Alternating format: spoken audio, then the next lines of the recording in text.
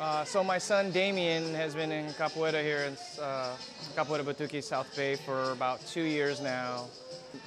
Many, many benefits. Um, aside from the obvious, the physicality, the introduction to a new culture, there was also a lot of other things such as um, developing lifelong friendships, um, exposing himself to uh, various groups of different people, all within this uh, shared common experience. Um, not to mention um, uh, developing a sense of community.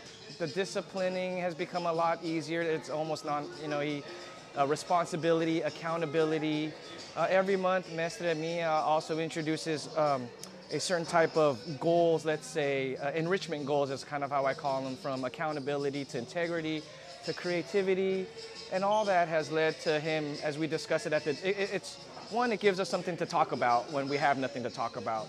So we like to kind of uh, look, look forward to those little tidbits and then kind of help how, to how do we incorporate that not just in a, a setting such as capoeira, but how, do you that, how does that translate and how do you carry that out into the real world?